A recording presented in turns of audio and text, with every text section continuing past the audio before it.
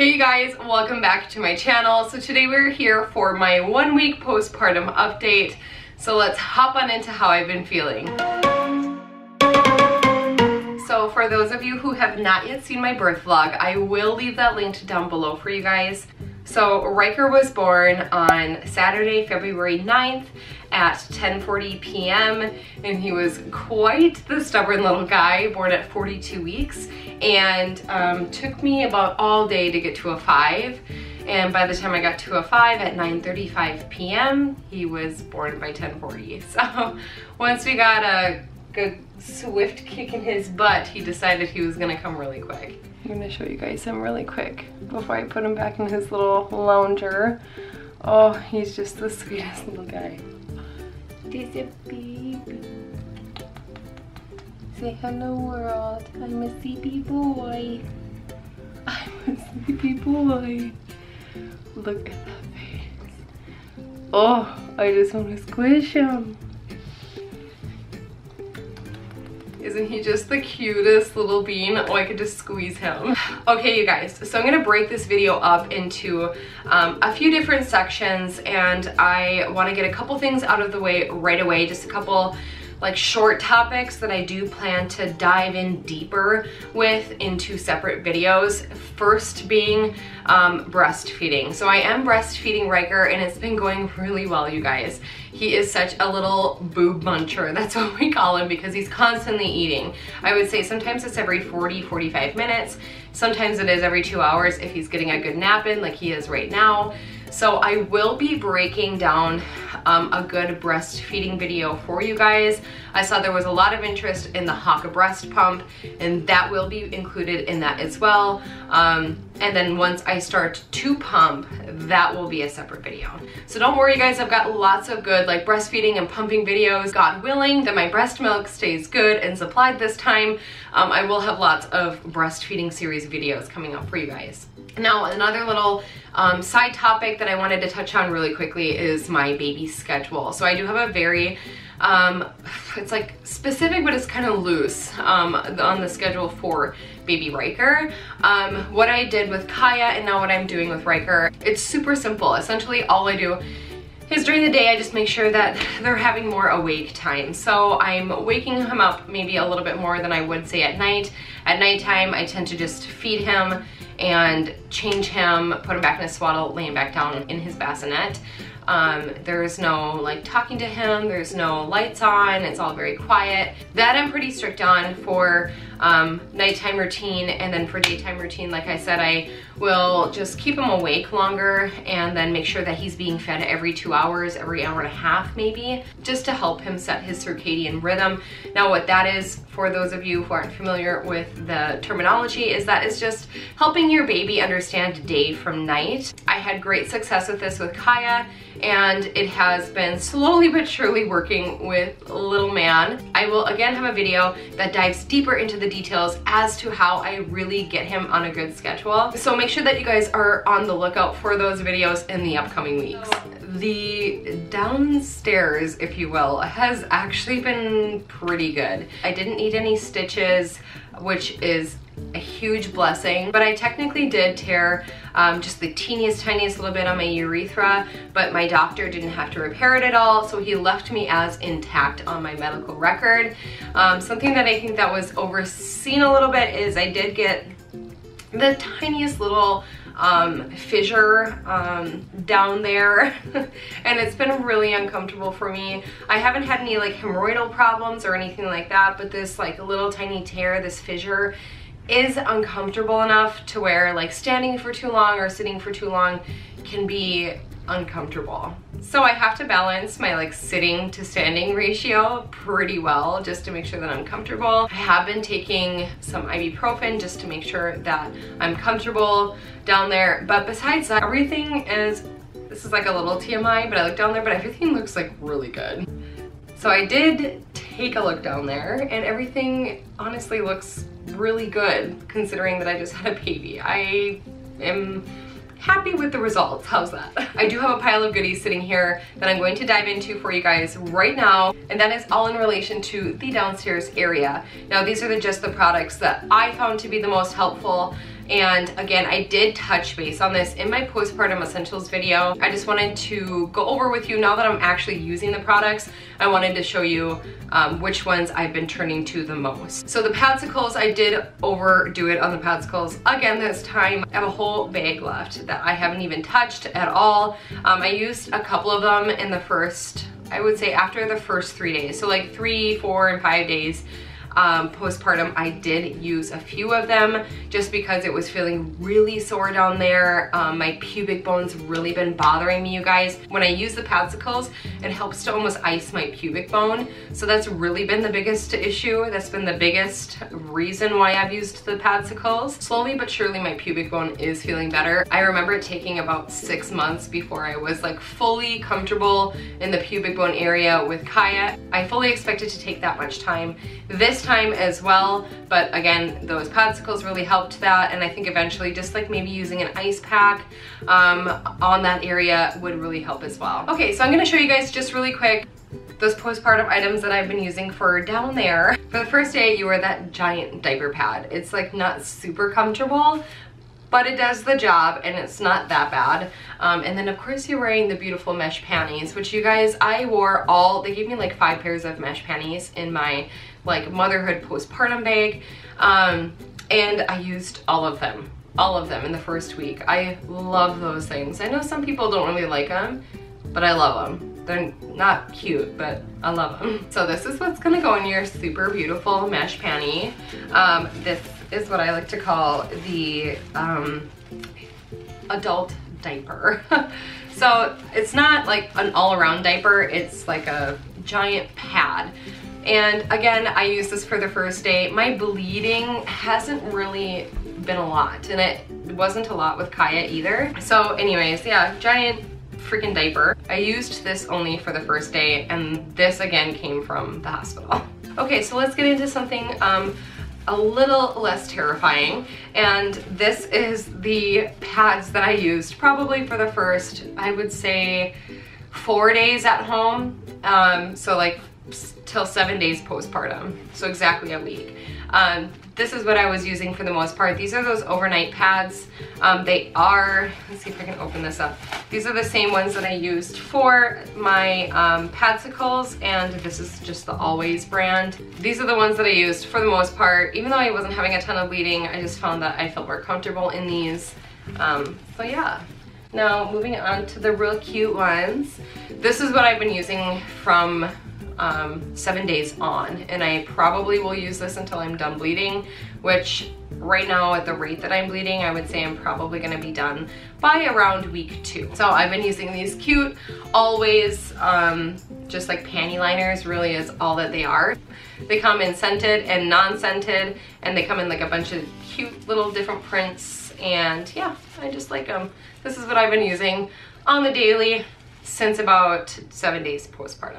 All right, so every single time that I go to the bathroom, I have a process. What that process is, is I will use a peri bottle. Now I just have water in here um, to give you guys a good idea of what you do with this. So you're gonna use this just to kind of spray yourself off as you're going to the bathroom and afterwards just to keep it nice and clean down there. After you use the peri bottle, you will kind of dab dry down there because you don't want to be wiping necessarily, um, especially if you have a ton of stitches, you guys, you definitely don't want to be wiping. You just want to dab.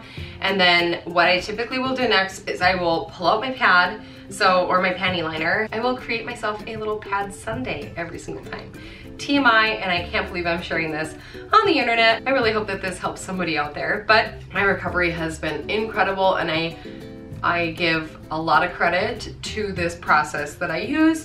So again, panty liner down after you dab dry. Then what I like to do is I like to go in with my Dermoplast. Even if I'm not feeling super sore, I will still use this just to make sure if there's any like itching or burning pain that this is gonna cover it. Another product that I have been loving, which I will layer on after I'm done with the Dermoplast, is the Herbal Perennial Spray by Earth Mama. This is mostly just witch hazel with like some extra stuff in it, but this is super helpful for down there and is kind of a little bit cooling. So it's very soothing. Love this stuff and it smells pretty good too. And then the final step is I will take my Tucks pads. Now this is just the Target brand, the up and up version of Tucks pads.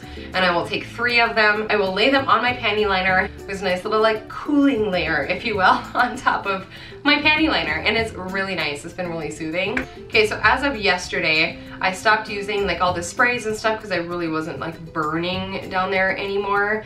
Um, and I started to use more of this perennial balm. So once you're coming off of those sprays and you don't feel like you need those sprays anymore, I would transition to this.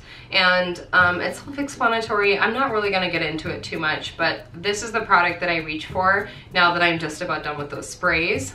Okay, so moving into the rest of my postpartum recovery, which is just so glamorous and wonderful. To keep up with my milk supply, I will include this in my breastfeeding video, but I have it with me, so I'm just gonna kind of touch base on it really quick, is I've been having like an almond milk tea every single day with this lactation tea, which is by Pink Stork. I recommended their labor and delivery tea, um, which was the red raspberry leaf tea. I drank that every single day. I probably had like three or four cups a day, you guys from, let's see, from about 35 weeks on. I had three or four cups a day of their labor and delivery tea, which I said I would tell you guys if I feel like, if I felt like it made a difference. And do I feel like it made a difference?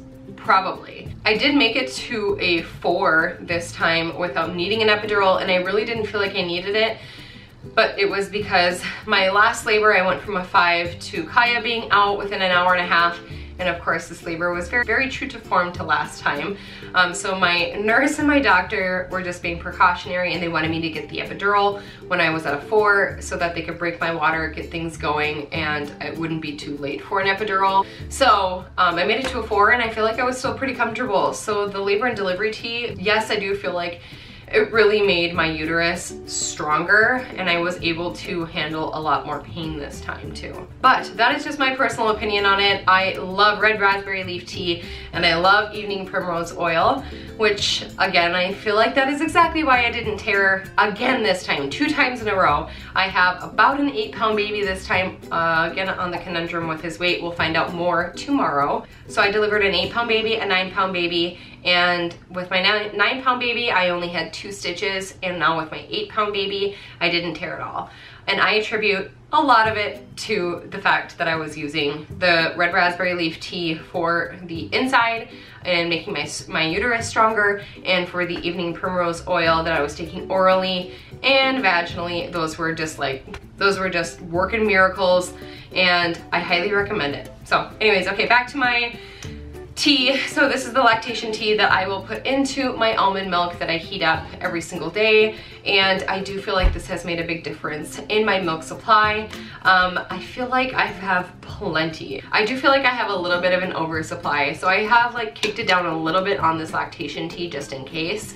But regardless, it tastes really good in almond milk and um, I will continue to use this. The next topic that I wanna bring up in this video is the afterbirth contractions. I didn't experience this with Kaya, um, I just had some cramping, but this time I will say that the contractions after having Riker were worse than the contractions I had when I was having him, when I was in labor with him. They were so painful for the first week that I honestly stayed laying down for most of the time. It was really hard for me to get up and do anything.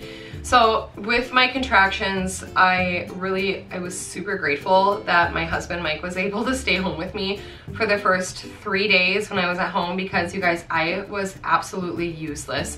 We came home on Monday or Tuesday and I had him stay until Thursday and in fact he stayed a little bit on Friday which I'll touch base on in a second um, but he stayed through Thursday because I was in so much pain I could not move every time I would nurse him um, and every time I would do too much or I would walk around too much, these contractions would start to kick up and they were intense. So to combat those really intense contractions, again, I stayed on top of my ibuprofen and then I also had this recovery tea that my mom got me as a gift for my push gift. Um, this has really been helping me, you guys, and I prefer this um, over the tincture that I got. I also got this tincture on Amazon and I seriously think it tastes like a really bad mixed whiskey drink. I don't know why. Mixed with like a garden. It doesn't taste good to me at all. Yes, I do think it probably helped a little bit, but I just wanted to vomit every single time that I took this. In fact, I did vomit um, one time after taking this, and I don't know if it was because of this or if it was because of something that I ate, um, which is why my husband had to stay for a little bit of Friday morning is because I was up all night Thursday night after coming home. So a few days after coming home from the hospital, um, I was up all night and I was throwing up. It was just not a good situation. I was in really tough shape and it wasn't the stomach flu because we had just had the stomach flu like six weeks before that over Christmas. Two years in a row that that has happened to us, which is absolutely awful. But it wasn't the stomach flu. Nobody else in the house got sick. It was just me. And I really feel like it was something that I ate, but I did take this right before I threw up. So anyways, I'm sure that a lot of people have had good luck with this stuff. Um, the After Ease for Pregnancy by WishGarden. But I just, oh, I can't do it can't do it. All right, the only other thing that I have been doing for postpartum is I've been focusing a little bit on my weight loss. Now I do make sure that I have at least 2,000 to 2,500 calories a day so that I am producing enough milk for this little guy. So I just wanted to make sure that I'm putting really good nutritious food in my body so that I'm producing really good nutritious milk for him.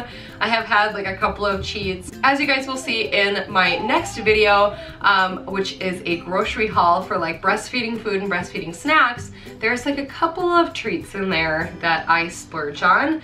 But anyways, it's been going really well. I have lost almost 40 pounds since having him. I'm almost completely back, being back at my pre-pregnancy weight. I'm super excited. I gained about 43 pounds um, that was the day, the morning of that I had him. I had officially gained 43 pounds and I'm sure that I gained more weight when I was in the hospital from IV fluids because I just puffed up. But I came home and right when I got home I was like 25 pounds less. And now at 10 days postpartum. I am almost completely back to my pre-pregnancy weight and I'm really excited about it. It's just the weight is melting off this time. It's a completely different experience versus my first time, which I really struggled to get that baby weight off but I did gain about 100 pounds with my daughter. so anyways, it's been really exciting. I'm gonna show you guys a little bit what I've been doing for my postpartum weight loss and I'm really excited to kick off that series for you as well because I do have some extra weight that I wanna shed and I wanna share how I do that with you guys because I'm super passionate about weight loss. It's just something I've always struggled with. I'm just like always struggling with it. I feel like all women struggle with what they put in their bodies. So anyways, and just something fun that I wanna share with you guys. But for the weight loss this time, breastfeeding really, honestly, I feel like has been the number one thing to help me. Okay, now I've got Kaya laying under the blankets. For my postpartum weight loss, just real quick, I wanted to tell you guys that breastfeeding has been number one this time for my weight loss, which last time it really hindered my weight loss.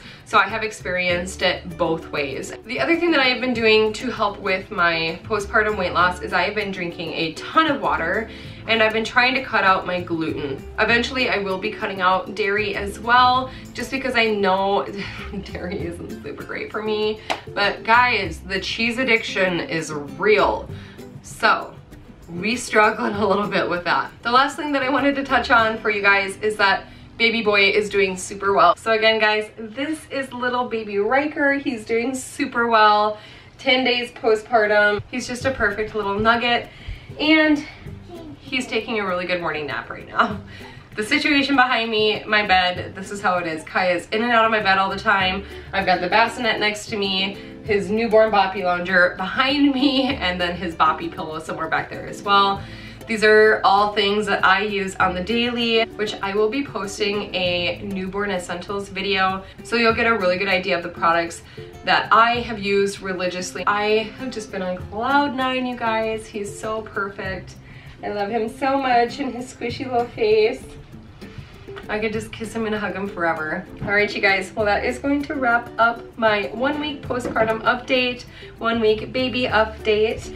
If you guys have not yet subscribed to my channel, I would love if you join my little family here on YouTube. I do lots of mama content these days because as you can see, I just had the cutest little baby boy and I am loving this newborn stage. Please give this video a big thumbs up if you enjoyed this kind of video on my channel. I will see you guys on Tuesday for the grocery haul. Okay, bye guys. Alright you guys, this is my belly. One week postpartum. As you can see I've got like extra pooch skin right here. This like always stays, this never really goes away. But yeah, not too shabby for 10 days postpartum. Gotta make sure I'm in focus. Okay, we're good. Old lady status. Um, they come in like sense and nonsense. That was funny. It looked like a, a normal business down there, so uh,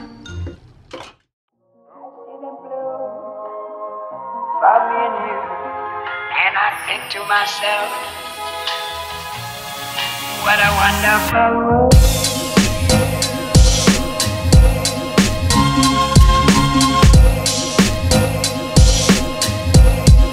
What a wonderful world.